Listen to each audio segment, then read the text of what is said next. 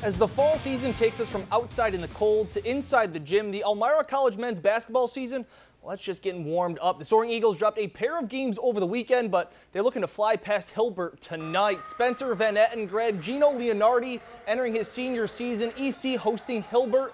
And they came out firing early from outside the arc. Justin Henderson straight away, bang. He would provide the deep threat in the offense. So Elmira, they can burn you outside, but they got a little inside game working here in the paint. Justin Porritt turning the corner, laying it in. He had 20 on the night, but Elmira still trailed by four. But Hilbert here, they were pushing the pace. Malik McCoy wearing his PF Flyers takes it all the way to the house. He's not afraid of contact there. But Elmira able to counter, always within an arm's reach. Leonardi here working down low. The up and under, pretty layup. Elmira stages a comeback, but Hilbert provides to be too strong. The Hawks win the Battle of the Birds 80 73. Elmira 0 3 on the year.